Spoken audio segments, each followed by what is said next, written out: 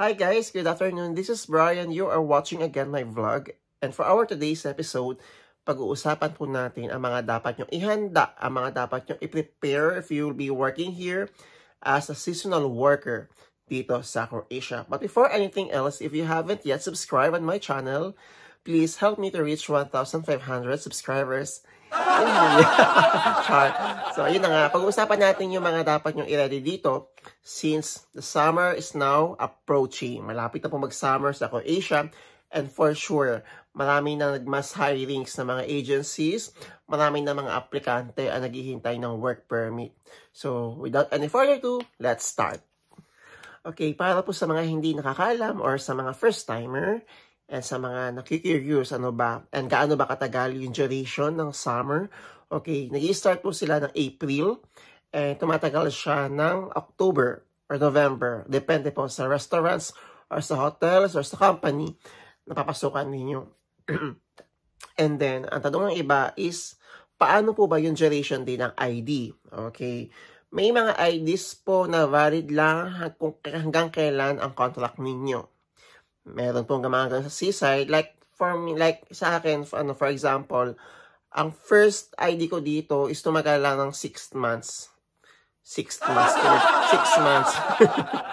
so, nag-start ako ng April 1 until October. April, November, December, January, April, May, June, July, August, September, October. So, 6 months. Pero meron ding ibang mga seasonal na tumatagal ng 1 year ang valid ng kanilang ID. So, sa mga nagtatanong kasi, like, paano po ba pagkatapos ng summer? Pwede po ba maghanap ng part-time? And saan po ba pwede maghanap ng part-time? So, yun yung mga kadalas ako natatanong. Kung pwede ba daw silang lumipat sa ibang Europe? Okay. Una po sa lahat, guys, mga kabayan, if you are planning to cross another EU or sa any part of Shenzhen, hindi ko po ina-advise. Okay? Not unless, kung alam mo yun, kung mayroon talaga better opportunity and documented. Okay? Huwag po kayong papayag na magti-TNT kayo sa ibang part ng Europe with an expired ID. Utang na loob po. Huwag niyo pong ipahama ang sarili ninyo. Huwag niyo, alam niyo yun, bigyan pa ng stress yung sarili ninyo. So, kung tingin nyo is mayroong better opportunity sa ibang part ng Europe, better to ask for papers po para legal. Number two, pwede ba raw mag part-time after ng season, ng summer? Yes po, pwede po kayo mag part-time, pero okay, meron kayong mga kailangan isipin pa magpa-part-time kayo. Unang-una, yung accommodation. So, kayo po ang sasagot ng accommodation, not unless may kakilala kayo dito na pwede kayong makitira. Pero syempre, yung mga yon is may mga employers din. Baka malaman nila bakit sobrang taas na kuryente, tubig, di ba? So, yun yun, i-consider yung accommodation. Number two, kung makakahanap kayo ng part-time, make sure po na kung makakahanap lang ha, yung consistent na part-time. Yung kahit alam niyo yun, meron pa kayong remaining validity sa ID ninyo, magamit ninyo, pwede po yun. Ang pangit lang kasi may mga kabayan to, galing sa seasides, tapos nakikipagsapalaran sa Zagreb. So, real talk po tayo mga kabayan ha. Marami pa rin po until now ang walang trabaho sa Zagreb. So, lagi ko po kayo pinapaalahanan na kung seasonal job po ako kunin ninyo, pag-isipan nyo po ng mabuti. Lalo na yung offer and yung duration ng contract. Mahirap po talaga ang seasonal dito sa Croatia. Napakaswerte nyo lang kapag seasonal kayo and then yung company is nag-operate ng yearly tapos ma-absorb kayo. So, napakaswerte nyo po sa part na yun. Pero talagang, alam mo yun, hahanap talaga kayo ng paraan para kumita, lalo na kapag wala kayo nahanap na employer for winter. So, sa mga kabayan naman na, alam niyo, may agency and tingin niyo is hindi niyo kapakaya maghanap ng winter job on your own, mag-depend po kayo sa agency. Kasi may mga agency naman po na nakakapag-provide ng barracks, yung parang accommodation nila. Pero hindi po sagot ng agency or ni, or ni agency ninyo yung food allowance. Okay. okay, hindi po sagot ni employer yung mga food allowance ninyo. So, makikitira lang kayo sa company accommodation, sa agency accommodation, para matuluyan kayo tapos kayo na bahala maghanap ng trabaho ninyo if hindi kayo makapaghintay sa panibagong ipoprovide ni agency for your winter job. So, may mga na-encounter po akong ganun. And pangalawa, mahirap po ba, eh, yung pangatlo, mahirap po ba maghanap ng winter job? Okay. Kagaya pong sinabi ko kanina, marami pa rin po mga Pinoy ang walang winter job or hindi nabigyan ng winter job ng kanilang agency. And talagang challenging po talaga ang mga trabaho pag winter dito sa Croatia. Kasi nga po, walang turista ng winter. Hindi po ganun kalakas ang benta ng mga companies. So, magko-close talaga sila. Ay, ang ginagawa ng iba, ayun, ito na, malapit na ulit mag-summer, maybe babalik sila ng seasides ulit or mag-stay na talaga sila sa isang company, sa isang trabaho na yearly na nag-ooperate para hindi palipat-lipat. Kasi mahirap po na palipat-lipat kayo from seaside, pumunta kayo ng Zagreb.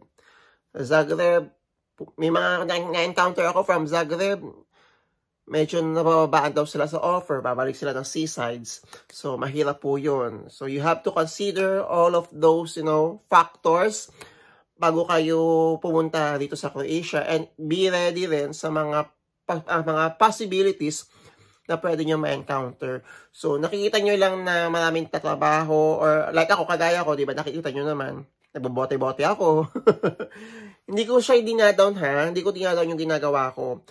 Pero, para sa akin, mahirap yung ganung gawain. Lalo na kapag hindi ka, alam mo yun, yung trabaho talagang hinahanap mo, pero wala ka talaga makitang winter job. Ang likod ng camera. Wala ka talagang winter job na makita. So, naghihintay pa ako ng another summer kasi doon mag start yung trabaho ko. And hindi ko pa talaga sure kung ano mangyayari. So, balitaan ko kayo kung meron man. so, meron din po kung uh, may nakapag-advise sa akin dito. So, again ha, may nakapag-advise lang sa akin na local. So, inabisuhan lang ako na ganun pala na, uh, for example, na expired na yung ID mo and then wala ka pang employer for the winter, para hindi ka magbayad ng fine sa police kapag na-renew ka, So, i-present mo na lang yung sarili mo sa police station na mag stay ka as tourist. Bibigyan naman daw po nila kayo ng tourist visa to stay. Kasi kapag nag-stay kayo dito for, alam mo yun, uh, more than 90 days, na expire yung ID, tapos a-apply kayo ng bagong work permit ng inyong bagong employer or ng old employer ninyo, if babalik kayo, mahihirapan kayo. Magbabayad muna kayo ng fine bago nila kayo issuehan ng work permit. So, ganun dapat pagka-expired ang ID, then wala pang employer, Ayan, ipunta kayo sa police station para mag-apply ng tourist visa. Hindi ko lang sure kung may bayad ba yun o wala. Pero matik naman daw binibigyan. Yun lang, para hindi kayo magbayad ng fine. Kasi mahal din po ang fine pag nagbayad kayo. And, wag tayong papayad, nagbayad tayo ng fine. Fine? so, yun guys, sa malinaw. Kung maraming tatanong na madali ba makahanap ng part-time, okay lang ba daw mag-part-time? Okay lang po mag-part-time. Pero hanggat maaari, hanggat kaya nyo makahanap ng isang trabaho sa Croatia, sa Croatia po, okay? So, hanapin nyo na po yung tuloy-tuloy na trabaho. Kasi once na matapos na po yung contract niyo sa agency, ayan, Bahala na po kayo. Ganon. Ganon po yung totoong nangyayari dito. Pero kayong ano ha, hindi ko, kayo, hindi ko sinisiraan or hindi ko tinatakot. Ganon lang. Siyempre, ganon na experience ko eh. And may mga na-encounter akong ganon. So, yung mga kabayan dito, nakakilala ko, nagkaganon. Although, hindi naman sa pinabayaan na ha, or hindi lang talaga sila mahanapan ng winter job. Or may mga tao siguro na nabibigyan sila ng winter job sa ibang lugar, maybe sa ibang part ng seaside siguro pag winter. Ngayon, hindi tinatanggap naman ni aplikante. So, di ko alam kung nasa yung problema. Nasa agency ba? Nasa aplikante? Okay? So, kasi may mga, ayun nga, may, may mga nakakarating sa akin na ganun.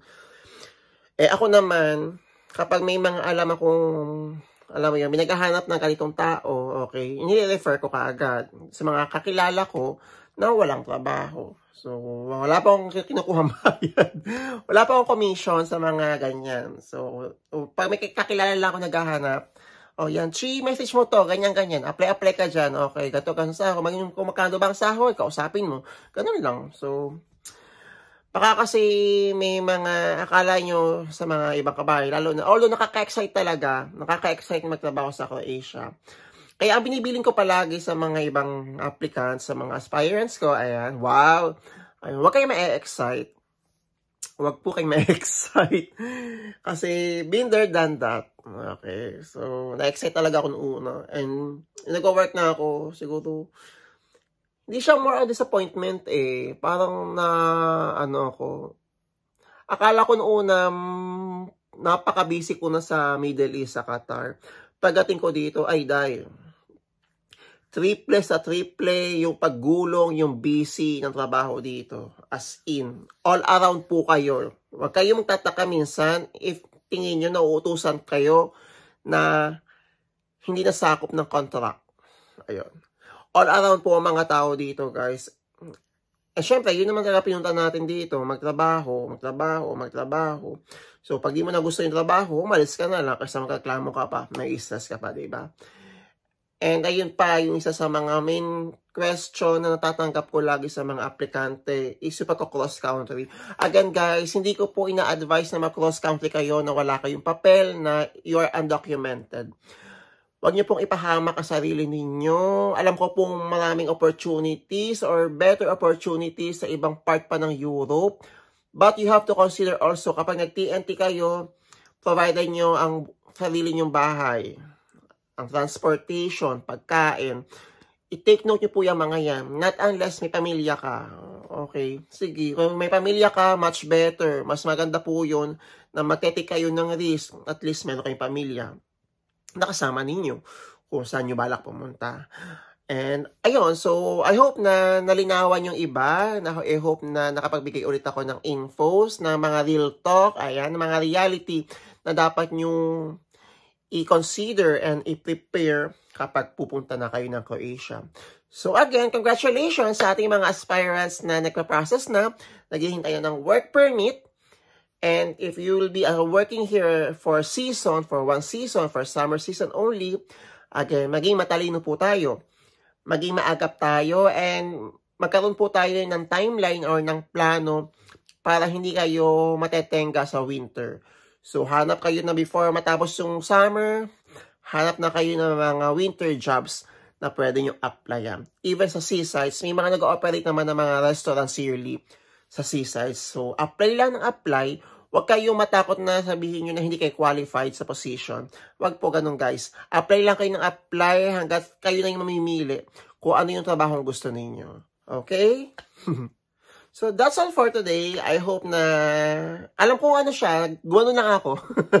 Kumuda lang po ako sa inyo kasi may mga patuloy pa rin nag-message sa akin about sa mga ganong concerns, about sa mga part-times talaga yung mga medyo natatanggap po na ngayon ng mga tanong. Kasi nga, marami siguro kayo ng mga napapanood or mga nababasa about seasonal jobs dito sa Croatia. So, again guys, be prepared Be wise and be ready sa summer season.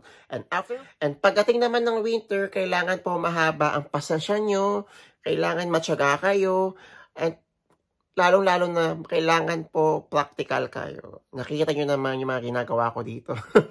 Pag winter, di ba? Kailangan po practical kayo kung ayaw nyo ma mawalan or maubusan ng mga savings or income So, ay, ganun talaga ang, ang seasonal dito. Ganun talaga ang buhay.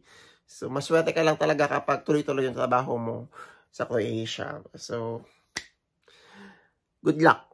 And I hope and I pray. Char!